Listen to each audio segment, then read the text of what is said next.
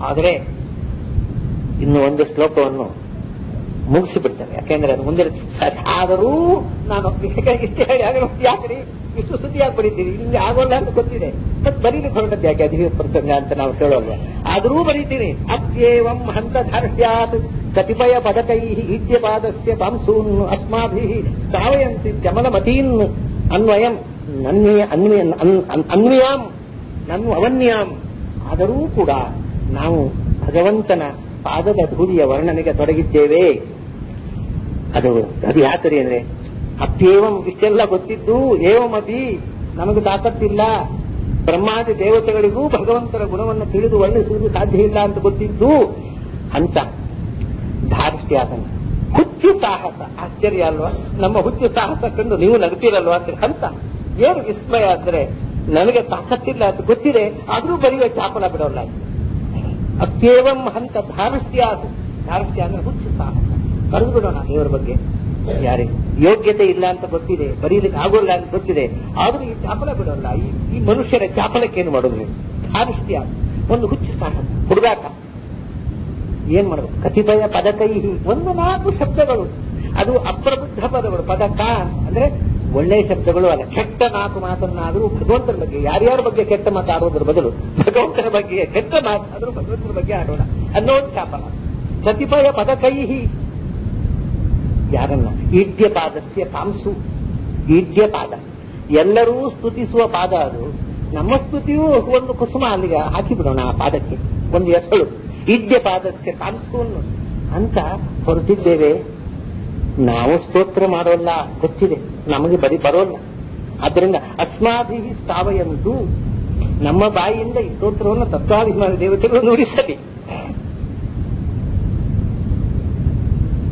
ನಾವೊಂದು ಇನ್ಸ್ಟ್ರೂಮೆಂಟ್ ಒಂದು ವೀಣೆ ಇದ್ದ ಹಾಗೆ. ವೈಣಿಕ ನುಡಿಸ್ತಾನೆ ಹಾಗೆ ನಾನೊಂದು ಇನ್ಸ್ಟ್ರೂಮೆಂಟ್ ಈ ಇಡೀ ದೇಹವೇ ಒಂದು ಭಗವಂತನ ಗುಣಮಾನ ಮಾಡುವ ವೀಣೆ ಅಂತ ಹೇಳ್ತದೆ ಉಪನಿಷತ್ತು. ಈ ವೀಣೆಯನ್ನು ನುಡಿಸುವ ವೈಣಿಕನು ಅವನೇ. ಅದರಿಂದ ದೇವತೆಗಳು ಈ ವೀಣೆಯ ಮೂಲಕ ನಾದ ಹೊರಡಿಸ ನಮ್ಮ ಬಾಯಿಯಿಂದ ಭಗವಂತನ ಸ್ತೋತ್ರವನ್ನ ನುಡಿಸಲಿ ಇದಿ ಅಮಲಮತಿಯನ್ನು ಅನ್ವಯಾಮ್ ನನ್ನ ಅಮನ್ಯಾಮ್ ಅಂಥ ಅಮಲಮತಿಯನ್ನು ಸ್ವಚ್ಛವಾದ ಬುದ್ಧಿ. ಕೊಳಕಿದ್ರೆ ಭಗವಂತ ಬರೋಲ್ಲ ಆ ಸ್ವಚ್ಛವಾದ ಮನಸ್ಸು. ಸತ್ವ ಗುಣದಿಂದ ನಿರ್ಮಲವಾಗಿ ಭಗವಂತನನ್ನು ಸದಾ ಚಿಂತನೆ ಮಾಡತಕ್ಕ ಸ್ವಚ್ಛ ಮನಸ್ಸಿನ ಆ ಜ್ಞಾನಿಗಳನ್ನು ಅನ್ವಯಾಮ್ ಶರಣಾಗತನಾಗಿದ್ದೇನೆ. ಅವರನ್ನು ಪ್ರಾರ್ಥಿಸ್ತಾ ಇದ್ದೇನೆ. ನನ್ನ ಬಾಯಿಂದ ಒಂದು ನಾಲ್ಕು ನುಡಿಸಿ. ಭಗವಂತನ ಬಗೆಗೆ. ಅದು ನೀವು ಎಲ್ಲೋ ಇದ್ದೀರಿ. ಮೇಲೆ ಎತ್ತರದ ಸ್ತರದಲ್ಲಿದ್ದೀರಿ ಇಲ್ಲವೇಟೆಡ್ ನಾನು ನನ್ನ ಅವನ್ಯ, ನಾನು ಈ ಭೂಮಿಯಲ್ಲಿ ಕೊಳಿತಾ ಇದ್ದೇನೆ. ಈ ಭೂಮಿಯಲ್ಲಿ ಇದ್ದು ನೀವು ಎತ್ತರದಲ್ಲಿರುವ ನಿಮ್ಮನ್ನು ಪ್ರಾರ್ಥಿಸ್ತಾ ಇದ್ದೇನೆ. ನನ್ನೊಳಗೆ ಬನ್ನಿ. ನನ್ನ ಬಾಯಲ್ಲಿ ಕೂಡಿ ನನ್ನ ಬಾಯಿಂದ ನುಡಿಸಿ. ಸ್ತವಯಂತು ಭಗವಂತನ ಸ್ತುತಿ ಬರಲಿ. ಯಾಕಪ್ಪ?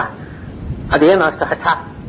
ಆಗೋಲ್ಲ ಅನ್ಕೊತಿದ್ದು ಮಾಡಬೇಕು ನನ್ನ ಕಥೆ ಗೊತ್ತಿಲ್ವಾ ನಿಮಗೆ ಭಾವಂ ಭಾವಂ ಸುಭೀತೋ ಭವಗತಿಭಿರಹಂ. ನೋಡಿ ಮೊದಲು ಅಸ್ಮಾಭಿಹಿ ಎಂದರು ಅವರ ಅವರ ಒಂದು ದೃಷ್ಟಿ ವೈಶಾಲ್ಯವನ್ನು ಗಮನಿಸಿ. ನನಗೆ ನನ್ನ ಬಾಯಿಯಿಂದ ನುಡಿಸರಿ ಅಂತ ಹೇಳಿಲ್ಲ ಅವರು. ನಮ್ಮ ಬಾಯಿಯಿಂದ ನಮ್ಮ ಎಲ್ಲರ ಪರವಾಗಿ ಅವರು ಪ್ರಾರ್ಥನೆ ಮಾಡಿದ್ರು. ಅಸ್ಮಾಭಿಹಿ. ಆದರೆ ಕೊನೆಗೆ ಡಿಫೆಕ್ಟ್ ಹೇಳುವಾಗ ತನ್ನ ಒಬ್ಬರದ್ದೇ ಹೇಳ್ತಾರೆ. ಉಳಿದವರು ಸುದ್ದಿ ಹೇಳಿದ್ರು ಭಾವಂ ಭಾವಂ ಸುಭೀತಃ ಯಾಕೆಂದ್ರೆ ನಾನು ಹೆದರಿ ಬಿಟ್ಟಿದ್ದೇನೆ. ಸುಭೀತಃ. ತುಂಬಾ ಗಾಬರಿಯಾಗಿ ಬಿಟ್ಟಿದೆ ನನಗೆ. ಯಾವುದರಿಂದ? ಭವಗತಿಭಿ ಭಾವಂ ಭಾವಂ. ಸಾವಿರ ಸಾವಿರ ಜನ್ಮಗಳಲ್ಲಿ ಹುಟ್ಟಿ ಬಂದು ಈ ಸಂಸಾರದ ಜಂಜಾಟದಲ್ಲಿ ಕಂಗಾಲಾಗಿ ಬಿಟ್ಟಿದ್ದೇನೆ ನಾನು. ಸಾಕು. ನನಗೆ ನಿನ್ನನ್ನು ಸ್ತೋತ್ರ ಮಾಡಬೇಕು. ಭಾವಂ ಭಾವಂ ಸುಭೀತಃ ಭವಗತಿಭೀರಹಂ. ಈ ಸಂಸಾರದ ನಡೆ ಯಾವ ಯಾವುದೋ ಪ್ರಾಣಿಯ ಜನ್ಮ ಹುಳು ಹುಪ್ಪಟದ ಜನ್ಮ, ನಾಯಿಯ ಜನ್ಮ, ಮನುಷ್ಯ ಜನ್ಮ ಮನುಷ್ಯ ಜನ್ಮ ಅಂತ ನಾವು ಸಂತೋಷ ಪಡ್ತೇವೆ ಹೇ ಮನುಷ್ಯರಾಗಿ ಹುಟ್ಟಿದ್ದೀವಿ ಶ್ರೇಷ್ಠ ಜನ್ಮ. ಆದರೆ ಪ್ರಾಯ ಮನುಷ್ಯನಷ್ಟು ನೀಚ ಜನ್ಮ ಯಾವುದೂ ಇಲ್ಲ ಜಗತ್ತಿನಲ್ಲಿ ಯಾಕಂದ್ರೆ, ನೋಡಿ, ಯಾಕೆ ದೇವರ ಹತ್ರ ಹೋಗ್ಬೇಕಾದ್ರೆ ಅಹಂಕಾರ ಹೋಗಬೇಕು. ಅಹಂಕಾರ ಇರುವುದು ಮನುಷ್ಯರಿಗೆ ಮಾತ್ರ, ಯಾವ ಪ್ರಾಣಿಗಳಿಗೂ ಇಲ್ಲ. ಅತ್ಯಂತ ನೀಚ ಪ್ರಾಣಿ ಮನುಷ್ಯ. ಸ್ವಾರ್ಥ ಮತ್ತು ಅಹಂಕಾರ. ಇದು ಪ್ರಾಣಿಗಳಿಗೆ ಇಲ್ಲ. ನೀವು ಅಕ್ಕಿ ಚೆಲ್ಲಿದ್ರೆ, ಒಂದು ಕಾಗೆ ಅದನ್ನು ನೋಡಿದ್ರೆ ಉಳಿದ ಕಾಗೆಗಳನ್ನು ಕರೀತೆ ಬರೀ ಇಲ್ಲಿ ಅಕ್ಕಿ ಇದೆ ಅಂತ. ನಾವು ಒಂದು ಹತ್ತು ರೂಪಾಯಿ ಇದ್ರೆ ಆಚೆ ನೋಡಿ ಯಾರು ಇಲ್ಲಿದ್ದ ಬೇಕಿಸಿ ಹಾಕೊಳ್ತೇವೆ. ಆದರೆ ಕಾಗೆಗಿಂತ ನೀಚ, ನಾಯಿಗಿಂತ ನೀಚ ಪ್ರಾಣಿ ಅಂತ ಒಂದು ಇದ್ರೆ ಅದು ಮನುಷ್ಯ ಮಾತ್ರ. ಆತ್ಮನಸ್ತು ಕಾಮಾಯ ಸರ್ವಂ ಪ್ರಿಯಂ ಭವತಿ. ಇಡೀ ಜಗತ್ತು ನನ್ನ ಸುಖಕ್ಕೋಸ್ಕರ ಇರಬೇಕು ಅನ್ನುವಂಥ ಮನಸ್ಸು ಮನುಷ್ಯನಿಗೆ ಮಾತ್ರ ಇರೋದು ಪ್ರಾಣಿಗಳಿಗೆ ಇಲ್ಲ. ಆದ್ದರಿಂದ ಭವಗತಿ ಅಹಂ ಭೀತಃ. ಈ ಈ ಸಂಸಾರದಲ್ಲಿ ಸಾವಿರ ಬಗೆಯ ಹುಟ್ಟು ಸಾವುಗಳಿಗೆ ಒಳಗಾಗಿ ನಾನು ಕಂಗಾಲನಾಗಿದ್ದೇನೆ, ಹೆದರಿ ಬಿಟ್ಟಿದ್ದೇನೆ. ಅದಕ್ಕೋಸ್ಕರ ಮೋಹ ಮೋಕ್ಷೇ ವಿವಕ್ಷನ್. ನನ್ನ ಈ ಮೋಹ. ಮೋಹ ಅನ್ನೋದಕ್ಕೆ ಎರಡರ್ಥ. ಒಂದು ಅಟ್ಯಾಚ್ಮೆಂಟ್ ಹೇಳ್ತೇವಲ್ಲ, ಸಂಸಾರ, ಹೆಂಡತಿ, ಮಕ್ಕಳು ಅನ್ನೋ ಮೋಹ. ಮೋಹ ಅಂದ್ರೆ ಅಟ್ಯಾಚ್ಮೆಂಟ್ ಇನ್ನೊಂದು ಮೋಹ ಅಂದ್ರೆ ಮೋಹ ವೈಚಿತ್ಯ ಅಜ್ಞಾನ. ಅಜ್ಞಾನ ಮತ್ತು ಅಟ್ಯಾಚ್ಮೆಂಟ್ ಅಟ್ಯಾಚ್ಮೆಂಟ್ ಅಂದ್ರೆ ಅದಕ್ಕೆ ಯಾವುದು? ಅಜ್ಞಾನದಿಂದ ಬರುವ ಅಟ್ಯಾಚ್ಮೆಂಟ್ ಮೋಹ. ಜ್ಞಾನದಿಂದ ಬರುವ ಅಟ್ಯಾಚ್ಮೆಂಟ್ ಅದು ದೋಷ ಅಲ್ಲ. ಅದಕ್ಕೆ ವೈರಾಗ್ಯ ಅಂತ ಹೇಳ್ತಾರೆ. ಅಜ್ಞಾನದಿಂದ ಬರುವ ಅಟ್ಯಾಚ್ಮೆಂಟ್ಗೆ ಮೋಹ ಅಂತಾರೆ. ಜ್ಞಾನದಿಂದ ಬರುವ ಅಟ್ಯಾಚ್ಮೆಂಟ್ ಯಾವುದು ಗೊತ್ತುಂಟು? ಅದು ವೈರಾಗ್ಯ. ಡಿಟ್ಯಾಚ್ಡ್ ಅಟ್ಯಾಚ್ಮೆಂಟ್ ಅಂತ ಹೇಳ್ತಾರೆ ಡಿಟ್ಯಾಚ್ಡ್ ಅಟ್ಯಾಚ್ಮೆಂಟ್ ಅದು ವೈರಾಗ್ಯ. ವೈರಾಗ್ಯ ಅಂದ್ರೆ ಡಿಟ್ಯಾಚ್ಮೆಂಟ್ ಅಲ್ಲ. ಯಾಕೆಂದ್ರೆ ಡಿಟ್ಯಾಚ್ಮೆಂಟ್ ಅಂದ್ರೆ ರಾತ್ರೋರಾತ್ರಿ ಹೆಂಡತಿ ಮಕ್ಕಳ ಹೇಳಿದ್ರೆ ಓಡಿ ಹೋಗೋದು ಅದು ಡಿಟ್ಯಾಚ್ಮೆಂಟ್ ಎಲ್ಲ ಬಿಟ್ಟು. ಮನೆಯಲ್ಲೇ ಇದ್ದು, ಸಂಸಾರದಲ್ಲೇ ಇದ್ದು ಅದನ್ನ ಡಿಟ್ಯಾಚ್ಡ್ ಆಗಿ ಬದುಕುವುದು ವೈರಾಗ್ಯ. ಅದಕ್ಕೆ ಡಿಟ್ಯಾಚ್ಡ್ ಅಟ್ಯಾಚ್ಮೆಂಟ್ ಈಸ್ ವೈರಾಗ್ಯ. ನಮ್ಗೆ ಇದೇ ಕಷ್ಟ. ನೀವು ಇಂಗ್ಲಿಷ್ನಲ್ಲಿ ಅನುವಾದ ಮಾಡಿದಾಗ ವೈರಾಗ್ಯ ಅಟ್ಯಾಚ್ ಡಿಟ್ಯಾಚ್ಮೆಂಟ್ ಅಂತ ಬರೆದು ಏ, ಬರೇ, ನಮ್ಮ ಹುಡುಗರು ನಮ್ಮ ಗ್ರಂಥಗಳನ್ನ ಇಂಗ್ಲಿಷ್ ಟ್ರಾನ್ಸ್ಲೇಷನ್ ಓದಿಯೇ ಕಲಿಯೋದು. ಅವ್ರಿಗೆ ಸ್ವಂತ ಭಾಷೆ ಓದಲಿಕ್ಕೆ ಬರೋಲ್ಲ. ಈ ದುರಂತದಿಂದ ವೈರಾಗ್ಯ ಅಂದ್ರೆ ಏನಂತ ಗೊತ್ತಾಗೋಲ್ಲ. ಯಾಕಂದ್ರೆ ನಾವು ಡಿಟ್ಯಾಚ್ಮೆಂಟ್ ಅಂತ ಬರೀತಾರೆ. Vairagya is not detachment it is detached attachment ಮೋಹ ಅಂದ್ರೆ ಅಟ್ಯಾಚ್ಡ್ ಅಟ್ಯಾಚ್ಮೆಂಟ್ ಒಂದು ಅಟ್ಯಾಚ್ಡ್ ಅಟ್ಯಾಚ್ಮೆಂಟ್ ಒಂದು ಡಿಟ್ಯಾಚ್ಡ್ ಅಟ್ಯಾಚ್ಮೆಂಟ್ ಅಷ್ಟೇ. ಮೋಹ ಮೋಕ್ಷೆ, ನನಗೆ ಈ ಅಜ್ಞಾನದಿಂದ ನಾನು ಈ ಪ್ರಪಂಚವೇ ಸರ್ವಸ್ವ ಅಂತ ಏನು ಇದರಲ್ಲಿ ಮಮಕಾರವನ್ನು ಹಚ್ಚಿಕೊಂಡಿದ್ದೇನೆ, ಅದರ ಬಿಡುಗಡೆಯದು ನನಗೆ ಈ ಮೋಹದಿಂದ ಪಾರಾಗಬೇಕು ನಾನು. ಇದು ನನ್ನದು ಇದು ನನ್ನದು ಇದು ನನ್ನದು. ಅದು. ಅದು ಹೋಗಬೇಕು. ನೇತಿ ನೇತಿ ಆತ್ಮಾಗೃತ್ಯ ನನ್ನದಲ್ಲ ನನ್ನದಲ್ಲ ನನ್ನದಲ್ಲ. ಅನ್ನೋ ಬರು ಆ ಮೋಹದಿಂದ ಬಿಡುಗಡೆಯಾಗಬೇಕು. ಅದಕ್ಕೋಸ್ಕರ ವಿವಕ್ಷನ್ ನಿನ್ನ ಬಗೆಗೆ ನಾನು ಮಾತನಾಡಬೇಕು.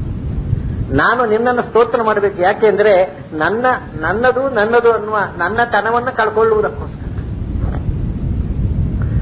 ಅದಕ್ಕೆ ಹೇಳ್ತಾರೆ ಕಾರಂ ಕಾರಂ ಸಪರ್ಯಾಂ ಪರಮ ಪರಮದ ಸಂವಿವಿತ್ಸನ್ ವಿವಿಕ್ಷನ್, ಕಾರಂ ಕಾರಂ ಸಪರ್ಯಾಂ ಅದಕ್ಕೋಸ್ಕರ ನಿರಂತರ ಭಗವಂತನ ಸಪರಿಯ, ಸೇವೆ ಮಾಡಿ, ಚಾಕರಿ.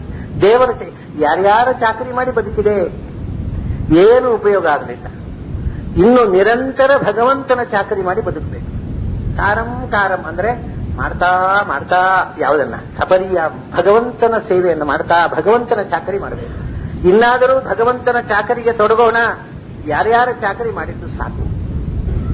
ಯಾವುದರ ಚಪರ್ಯ ಪರಮ ಪದ ಮದಹ ಸಂದಿದಿತ್ಸನ್ ಯಾಕೆ ಚಾಕರಿ ಭಗವಂತರ ಚಾಕರಿ ಇಲ್ಲವೇ? ನನಗೆ ಅವನನ್ನು ತಿಳಿಯಬೇಕಾಗಿದೆ. ಅವನ ಪಾದದ ಹಿರಿಮೆಯನ್ನು ಪರಮ ಪದಂ. ತದ್ವಿಷ್ಣೋ ಪರಮಂ ಪದಂ. ಪರಮ ಪದ. ಅದು ಎಲ್ಲಕ್ಕಿಂತ ಹಿರಿದಾದ ಸ್ಥಾನ. ಅಂಥ ಭಗವಂತನನ್ನ ಸಂವಿವಿತ್ಸನ್ ಕಿಂಚಿತ್ತಾದರೂ ತಿಳ್ಕೋಬೇಕು. ತಿಳ್ಕೊಂಡು ವಿವಿಕ್ಷನ್. ಅವನನ್ನೇ ಸೇರಿ ಬಿಡಬೇಕು ಮತ್ತೆ ಇಲ್ಲಿಗೆ ಬರಬಾರದು? ಭಗವಂತನ ಪಾದ ಸೇರಿ ಬಿಡಬೇಕು ಮತ್ತೆ ಇನ್ನೊಬ್ಬರ ಚಾಕರಿ ಇಲ್ಲ. ಭಗವಂತನ ಚಾಕರಿ ಮಾಡ್ತಾ ಅನಂತ ಕಾಲದವರೆಗೆ ಇದ್ದಿರಬೇಕು ಅದಕ್ಕೋಸ್ಕರ ಭಗವಂತನನ್ನು ಸ್ತುತಿಸಬೇಕು. ಅದಕ್ಕೋಸ್ಕರ, ಓ ದೇವತೆಗಳೇ, ನನ್ನ ಬಾಯಿಯಿಂದ ಭಗವಂತನ ಗುಣಗಾನ ಮಾಡಿಸಿರಿ. ಇಷ್ಟು ಹೇಳಿ ಮುಂದಿನ ಶ್ಲೋಕದಿಂದ ಭಗವಂತನ ಸ್ತೋತ್ರ ಪ್ರಾರಂಭ ಆಗುತ್ತೆ. ಇಷ್ಟು ಪೀಠಿಕೆ, ಎಂಟು ಶ್ಲೋಕಗಳಲ್ಲಿ, ಒಟ್ಟು ಮೂವತ್ತೆರಡು ಶ್ಲೋಕದಲ್ಲಿ ನಾಲ್ಕನೇ ಒಂದು ಅಂಶ ಪೀಠಿಕೆಯಲ್ಲೇ ಮುಗಿಸೋದು. ಎಂಟು ಶ್ಲೋಕಗಳಲ್ಲಿ ಭಗವಂತನ ಗುಣಗಳ ಸ್ತೋತ್ರ ಮಾಡುವುದಕ್ಕೆ ತಾನು ಅನಧಿಕಾರಿ. ಆದರೂ ಹುಚ್ಚು ಸಾಹಸದಿಂದ ಸ್ತೋತ್ರ ಮಾಡ್ತಾ ಇದ್ದೇನೆ. ಯಾಕಂದ್ರೆ ನನಗೆ ಭಗವಂತ ಬೇಕು. ಈ ಸಂಸಾರ ಸಾಕು.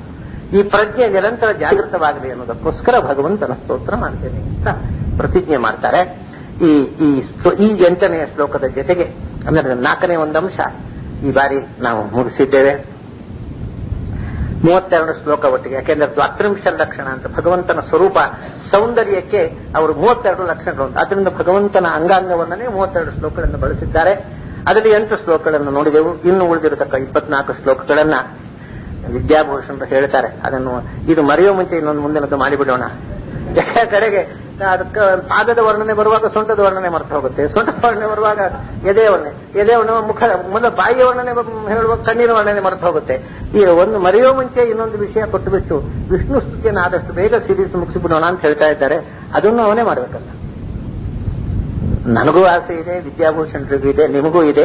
ಆದರೆ ಅವನಿಗೆ ಇದೆಯಲ್ಲೋ ಗೊತ್ತಿಲ್ಲ. ಅವನು ಅವನು ಆ ಆಸೆ ನನ್ನಿಂದ ಈಡೇರಿಸಲಿ ಅಂತ ಹಾರೈಸಿ ನಿಮಗೆಲ್ಲರಿಗೂ ಅಭಿನಂದನೆ ಸಲ್ಲಿಸಿ. ನನ್ನ ಮಾತನ್ನು ಮುಗಿಸ್ತಾ ಇದ್ದೇನೆ. ನಮಸ್ಕಾರ.